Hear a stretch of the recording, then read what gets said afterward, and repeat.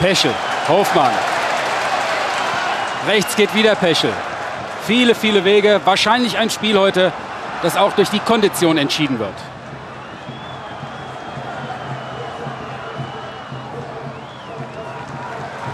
Reichel. Wieder Peschel. Juran!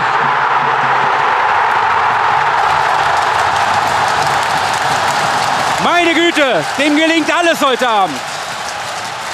Jurans zweiter Treffer und im Moment steht der VfL Bochum in der zweiten Runde des UEFA-Pokal. Sollte es bei diesem Ergebnis bleiben. Sergej Juran, sein zweiter Treffer. Ein ganz großes Spiel heute Abend von dem Mann, von dem Klaus Toppmöller hier sagte, er kam in einem bedauernswerten Zustand aus Düsseldorf zu uns. Konditionell ziemlich am Ende. Und Sergej Juran hat er prima hingekriegt. Die Flanke von Peschel. Und hier. Platziert getroffen. Metin schien am Ball. Aber er konnte ihn nicht festhalten. Und noch einmal. Richtig zum Ball gegangen. Schwung geholt, geköpft. So entsteht das 3 zu 1 für den VfL Bochum.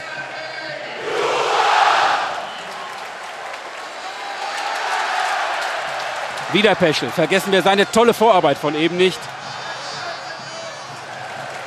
Der große Schachzug von Klaus Toppmüller. Stickrot und Peschel erstmal verletzt zu melden, um sie dann doch reinzuholen.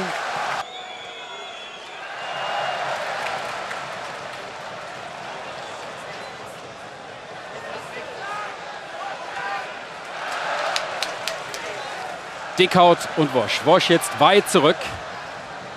Klar, wir sind nun mal nur noch zu zehnt. Da muss er aushelfen. Reis. Dickout.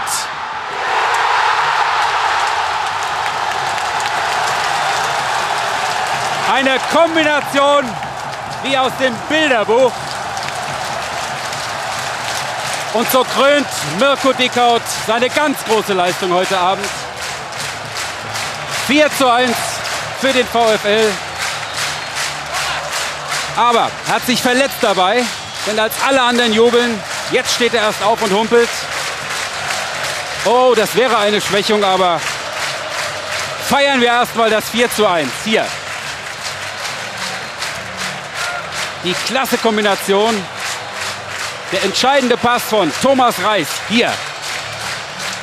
Frei vom Tor. Mirko Dickhaut, der Mann für defensive Sonderaufgaben heute Abend.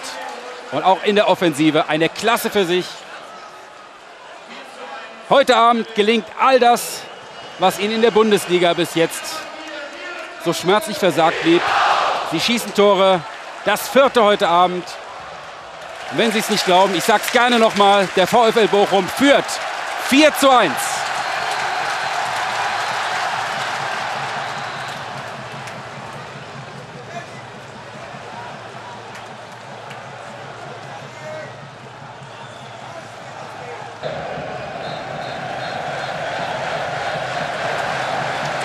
Wosch lauert jetzt fast nur noch auf Konter. 3 gegen 3. Reichel. Baluczynski kommt mit und rechts ist Peschel. Kein Abseits. Peschel.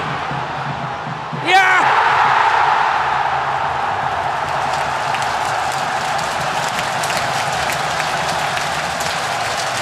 Der beste Spieler auf dem Platz heute Abend, das kann ich ohne Übertreibung sagen, macht das 5 zu 1. Ich wiederhole, 5 zu 1 für den VfL Bochum. Er kann einem leid tun jetzt, denn seine Mannschaft hatte prima begonnen, aber gegen diese Aktionen, vor allem immer wieder von Peschel, waren und sind sie alle machtlos. Auch Torwart Metin. 5 zu 1 durch Peter Peschel. Alle hatten mit einem Pass in den Rücken der Abwehr gerechnet. Dann hat er die Lücke gesehen.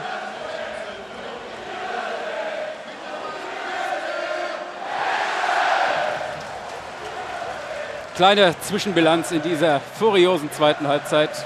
Drei Torchancen für den VfL Bochum. Drei Tore.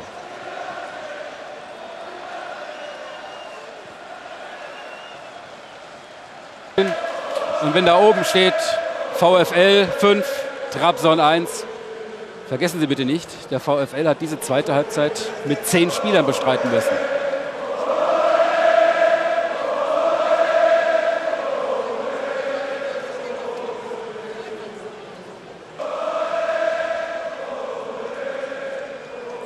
Orgün. Nisse, Nisse. Rechts steht Cetin und Orgün. Und das ist das, was ich vor fünf Minuten sagte. Sie sollten es jetzt da hinten nicht allzu lässig angehen lassen. Jetzt sind es nur noch zwei Tore, die den Türken fehlen. Ein bisschen lässig. Orgün hatte den Angriff eingeleitet. Misse, Misse. Der Schuss. Gospodarek konnte auch diesen nicht festhalten. Gut, dass Bochum ein paar Tore vorgelegt hat heute Abend.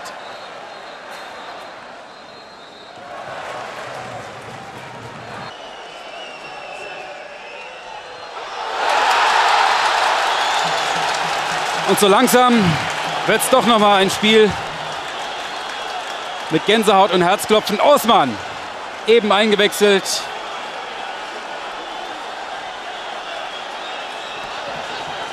Und plötzlich doch noch mal bessere Stimmung hier auf den Rängen. Also das Spiel droht wieder offen zu werden. Ein Spiel, das der VfL Bochum schon klar für sich entschieden hatte.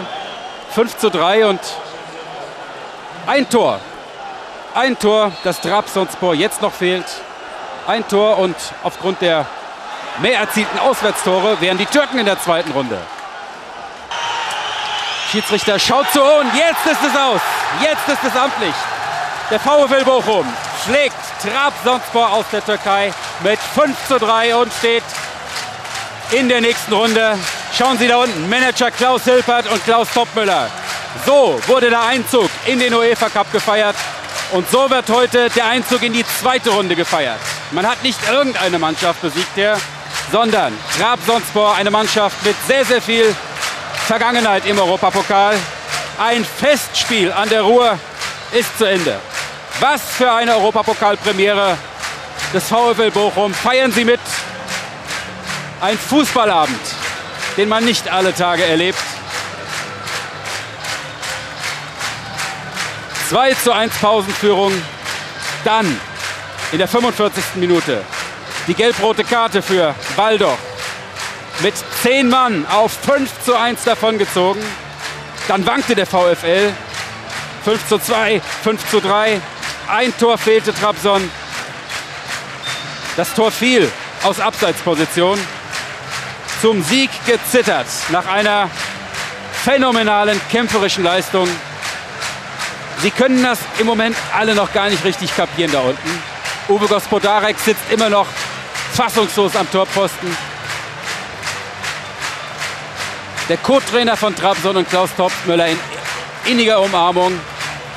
Große Szenen am Ende eines großen Spiels.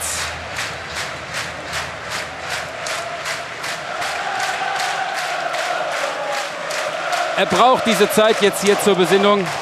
Ralf Zumlik, der selbst den Kasten des VfL gehütet hat, holt ihn jetzt zurück aufs Spielfeld. Es ist schwer, jemanden herauszuheben heute Abend. Stark waren sie alle, aber was Peschel, Wosch, Juran und Dickhaut heute Abend geleistet haben, vorbildlich. Dieses Europacup-Debüt,